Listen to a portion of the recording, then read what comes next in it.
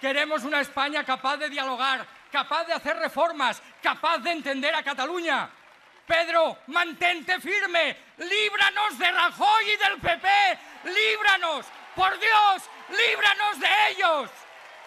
Estamos a tu lado, estamos contigo. Aguanta, resiste las presiones, intenta formar una mayoría progresista y de cambio. España no puede cuatro años más de PP. No.